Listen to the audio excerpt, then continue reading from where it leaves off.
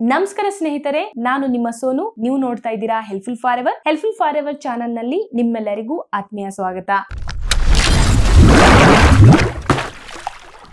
Friends ಇವತ್ತಿನ ವಿಡಿಯೋನಲ್ಲಿ ನಮ್ಮ ದೇಹದಲ್ಲಿ ಹೆಚ್ಚಾಗಿರುವ ಯೂರಿಕ್ ಆಸಿಡ್ನ ಹೇಗೆ ಕಡಿಮೆ ಮಾಡಿಕೊಳ್ಳೋದು? ಒಂದು ವೇಳೆ ಯೂರಿಕ್ ಆಸಿಡ್ ಹೆಚ್ಚಾದ್ರೆ ಯಾವ ರೀತಿಯ ಅನಾರೋಗ್ಯಕರ ಸಮಸ್ಯೆಗಳು ನಮಗೆ ಕಾಡುತ್ತೆ? ಈ ವಿಷಯದ ಬಗ್ಗೆ ಈ ವಿಡಿಯೋ ಆಗಿರುತ್ತೆ. ಹೋಪ್ ನಿಮಗೆ ಈ ವಿಡಿಯೋ ಯೂಸ್ಫುಲ್ ಆಗಬಹುದು. ಸೊ ವಿಡಿಯೋನ ಕೊನೆ ತನಕ ನೋಡ್ತಾ ಇರಿ. ಅದಕ್ಕಿಂತ ಮುಂಚೆ ನೀವು ಇದೇ ಫಸ್ಟ್ ಟೈಮ್ ನನ್ನ ವಿಡಿಯೋಸ್ ಗಳನ್ನ ನೋಡ್ತಾ ಇದ್ರೆ ಇವಾಗಲೇ ಸಬ್ಸ್ಕ್ರೈಬ್ ಮಾಡ್ಕೊಳ್ಳಿ. ಹಾಗೆ ಹೊಸ ವಿಡಿಯೋಸ್ಗಳ ನೋಟಿಫಿಕೇಶನ್ಗಾಗಿ ಬೆಲ್ ಐಕನ್ ಕ್ಲಿಕ್ ಮಾಡೋದನ್ನ ಮರಿಬೇಡಿ. ಫ್ರೆಂಡ್ಸ್ ಮೊದಲು ನಾವು ಯೂರಿಕ್ ಆಸಿಡ್ ಅಂದ್ರೆ ಏನು ಅಂತ ಅರ್ಥ ಮಾಡ್ಕೊಳ್ಳೋಣ. ನಮ್ಮ ದೇಹದಲ್ಲಿ ಯೂರಿಕ್ ಆಸಿಡ್ ಉತ್ಪತ್ತಿ ಆಗ್ತಾ ಇರುತ್ತೆ. ಈ ಯೂರಿಕ್ ಆಸಿಡ್ ಉತ್ಪತ್ತಿ ಆಗ್ಲಿಕ್ಕೆ ಕಾರಣ ನಾವು ಸೇವಿಸುವ ಆಹಾರದಲ್ಲಿರುವ ಪ್ಯೂರಿನ್ ಅಂಶ. ಪ್ಯೂರಿನ್ ಅಂಶ ಹೆಚ್ಚಿರುವ ಆಹಾರ ನಾವು ಸೇವಿಸಿದಾಗ ನಮ್ಮ ದೇಹದಲ್ಲಿ ಪ್ಯೂರಿನ್ ಯೂರಿಕ್ ಆಸಿಡ್ ಆಗಿ ಕನ್ವರ್ಟ್ ಆಗುತ್ತೆ. ಪ್ಯೂರಿನ್ ಹೆಚ್ಚಾಗಿರೋದೇ ಪ್ರೋಟೀನ್ ಆಹಾರಗಳಲ್ಲಿ. ಈ ಪ್ಯೂರಿನ್ ಇಂದ ಉತ್ಪತ್ತಿಯಾದ ಯೂರಿಕ್ ಆಸಿಡ್ನ ಫಿಲ್ಟರ್ ಮಾಡಿ ನಮ್ಮ ದೇಹದಿಂದ ಹೊರಹಾಕುವ ಕೆಲಸ ಮಾಡೋದು ಕಿಡ್ನಿ. ಒಂದು ವೇಳೆ ಕಿಡ್ನಿ ಸರಿಯಾಗಿ ಕೆಲಸ ಮಾಡಿಲ್ಲ ಅಂದ್ರೆ ನಮ್ಮ ದೇಹದಲ್ಲಿ ಯೂರಿಕ್ ಆಸಿಡ್ ಹೆಚ್ಚಾಗ್ತಾ ಹೋಗುತ್ತೆ. ಮುಂದೆ ಈ ಯೂರಿಕ್ ಆಸಿಡ್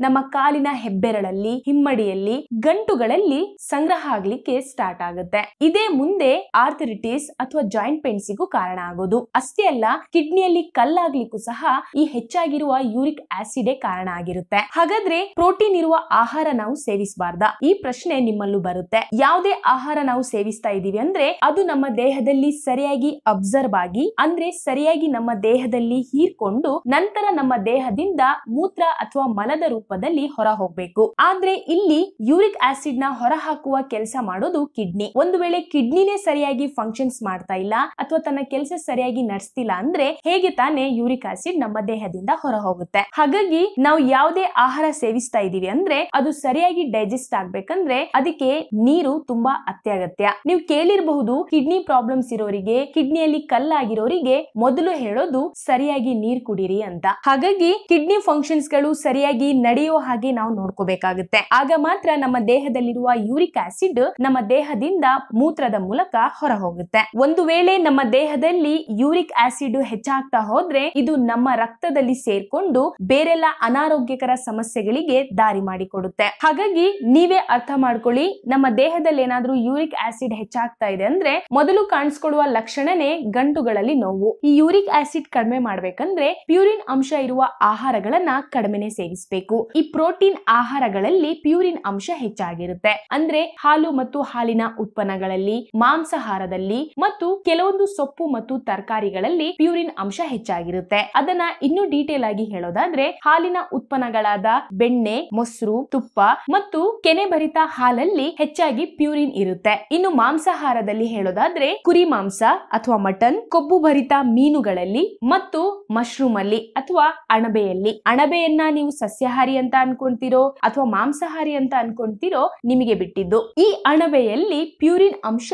ಹೆಚ್ಚಾಗಿರುತ್ತೆ. ಇನ್ನು ಸೊಪ್ಪು ಮತ್ತು ತರಕಾರಿಗಳಲ್ಲಿ ಹೇಳೋದಾದ್ರೆ ಪಾಲಕ್ ಸೊಪ್ಪು, ಹೂಕೋಸು ಅಥವಾ ಕಾಲಿಫ್ಲವರ್ ಮತ್ತು ಹಸಿರು ಬಟಾಣಿ. ಇದರಲ್ಲಿ ಪ್ಯೂರಿನ್ ಅಂಶ ಹೆಚ್ಚಾಗಿರುತ್ತೆ. ಹಾಗಾಗಿ ಈ ಆಹಾರಗಳನ್ನ ನಿಮ್ಮ ಡಯಟ್ ಅಲ್ಲಿ ಆದಷ್ಟು ಕಡಿಮೆನೆ ಸೇವಿಸಿ. ಯಾಕಂದ್ರೆ ಈಗಾಗಲೇ ನಿಮ್ಮ ದೇಹದಲ್ಲಿ ಯೂರಿಕ್ ಆಸಿಡ್ ಹೆಚ್ಚಾಗಿದೆ ಅಂದ್ರೆ ಅದನ್ನ ಕಡಿಮೆ ಮಾಡೋದ್ರಲ್ಲಿ ಇದು ಹೆಲ್ಪ್ ಮಾಡಲ್ಲ. ಬದಲಾಗಿ ಮತ್ತೊಂದಷ್ಟು ಯೂರಿಕ್ ಆಸಿಡ್ನ ಹೆಚ್ಚು ಮಾಡುತ್ತೆ. ಹಾಗೆ ರಾಜ್ಮಾ, ಬೇಳೆಕಾಳುಗಳು, ಉಪ್ಪಿನಕಾಯಿ ಮತ್ತು ವೈಟ್ ಫುಡ್ಸ್ ಅಥವಾ ಬಿಳಿ ಆಹಾರಗಳಾದ ಬಿಳಿ ಅಕ್ಕಿ ಆಡೆಡ್ ಶುಗರ್ ಅಥವಾ ಬಿಳಿ ಸಕ್ಕರೆ, ಮೈದಾ, ಬೇಕರಿ ತಿನಿಸುಗಳನ್ನ ಆದಷ್ಟು ಅವಾಯ್ಡ್ ಮಾಡಿ. ಹಾಗೆ ನಿಮಗೇನಾದ್ರೂ ಆಲ್ಕೋಹಾಲ್ ಅಥವಾ ಸ್ಮೋಕಿಂಗ್ ಹ್ಯಾಬಿಟ್ ಇದ್ರೆ ಈ ಹ್ಯಾಬಿಟ್ನ ನೀವು ಬಿಡ್ಲೇಬೇಕು. ಇಲ್ಲಾಂದ್ರೆ ಯೂರಿಕ್ ಆಸಿಡ್ ಇನ್ನು ಹೆಚ್ಚಾಗ್ತಾ ಹೋಗುತ್ತೆ. ಹಾಗಂತ ಈ ಆಹಾರಗಳನ್ನ ಸೇವಿಸಬಾರದು ಅಂತ ಅಲ್ಲ. ನೀವು ಸೇವಿಸಿದ ಆಹಾರ ಸರಿಯಾಗಿ ದೇಹದಲ್ಲಿ ಡೈಜೆಸ್ಟ್ ಆಗ್ಬೇಕಂದ್ರೆ ನೀರಿನ ಅವಶ್ಯಕತೆ ತುಂಬಾ ಇರುತ್ತೆ. ಮತ್ತೆ ಇನ್ನು ಕೆಲವೊಂದು ಆಹಾರಗಳಿದೆ. ಅವುಗಳು ನಮ್ಮ ಡಯಟ್ ಅಲ್ಲಿ ನಾವು ಆಡ್ ಮಾಡ್ಕೊಂಡ್ರೆ ಈ uric ಆಸಿಡ್ನ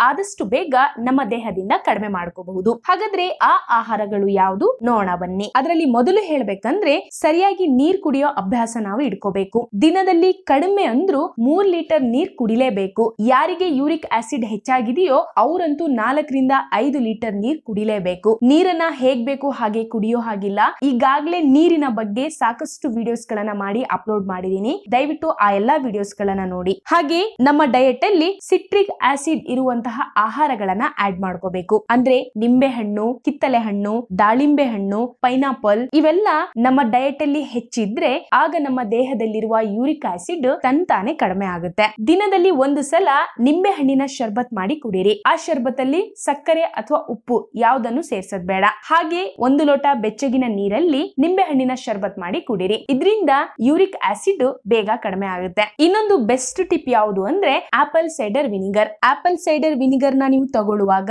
with mother apple cider vinegar ಅಂತ ಇರುತ್ತೆ. ಅದನ್ನೇ ತಗೊಳ್ಳಿ. ಅದು ಪ್ಯೂರ್ ಆಪಲ್ ಸೈಡರ್ ವಿನಿಗರ್ ಆಗಿರುತ್ತೆ. ಒನ್ ಗ್ಲಾಸ್ ನೀರಿನ ಜೊತೆಗೆ one tablespoon apple cider vinegar ಸೇರಿಸ್ಕೊಳ್ಳಿ. ಇದನ್ನ ದಿನದಲ್ಲಿ ಒಂದ್ಸಲ ಕುಡಿರಿ. ಮಧ್ಯಾಹ್ನ ಊಟ ಆದ ಒಂದು ಗಂಟೆ ನಂತರ ಕುಡಿದ್ರು ಸಾಕು. ಇದರಿಂದನೂ ನಮ್ಮ ದೇಹದಲ್ಲಿ ಹೆಚ್ಚಾಗಿರುವ ಯೂರಿಕ್ ಆಸಿಡ್ ಕಡಿಮೆ ಆಗುತ್ತೆ. ಹಾಗೆ ವಿಟಮಿನ್ ಸಿ ಇರುವ ಆಹಾರಗಳು ಹೆಚ್ಚೆಚ್ಚು ತಿಂತಾ ಇರಿ. ಈ ಸಿಟ್ರಿಕ್ ಆಸಿಡ್ ಯೂರಿಕ್ ಆಸಿಡ್ ಕಡಿಮೆ ಮಾಡ್ಲಿಕ್ಕೆ ಹೆಲ್ಪ್ ಆಗಿರೋದು. ಇನ್ನು ಹಣ್ಣುಗಳಲ್ಲಿ ಹೇಳೋದಾದ್ರೆ ಸೇಬು ಹಣ್ಣು, ಕರ್ಬೂಜ, ಕಿತ್ತಲೆ ಹಣ್ಣು, ಬೆಟ್ಟದ ನೆಲ್ಲಿಕಾಯಿ, ಸ್ಟ್ರಾಬೆರಿ, ಚೆರೀಸ್ ಈ ಎಲ್ಲಾ ಹಣ್ಣುಗಳನ್ನ ಆದಷ್ಟು ನಿಮ್ಮ ಡಯಟ್ ಅಲ್ಲಿ ಆಡ್ ಮಾಡ್ಕೊಳ್ಳಿ. ವಾರದಲ್ಲಿ ಒಂದು ಮೂರು ಅಥವಾ ನಾಲ್ಕು ಸಲ ಆದ್ರೂ ಎಳ್ನೀರ್ ಕುಡಿಯೋ ಅಭ್ಯಾಸ ಇಟ್ಕೊಳ್ಳಿ. ಅಟ್ಲೀಸ್ಟ್ ಎರಡು ಸಲ ಆದ್ರೂ ಕುಡಿತಾ ಇರಿ. ಇನ್ನು ತರಕಾರಿಯಲ್ಲಿ ಮೂಲಂಗಿ, ಬೀಟ್ರೋಟ್, ಕ್ಯಾರೆಟ್, ಸೌತೆಕಾಯಿ, ಬ್ರೋಕಲಿ ಹಾಗೆ ನಾರಿನಾಂಶ ಹೆಚ್ಚಿರುವ ಆಹಾರವನ್ನ ಹೆಚ್ಚಾಗಿ ತಿನ್ನಿ. ಹಾಗೆ ನಿಮ್ಮ ಅಡುಗೆ ಎಣ್ಣೆಯಲ್ಲಿ ಆಲಿವ್ ಆಯಿಲ್ನ ಸೇರಿಸ್ಕೊಳ್ಳಿ. ಆಲಿವ್ ಆಯಿಲ್ನ ಬೆಲೆ ಸ್ವಲ್ಪ ಜಾಸ್ತಿನೇ. ಒಂದ್ಸಲ ತಂದಿಟ್ಕೊಳ್ಳಿ. ಅದನ್ನ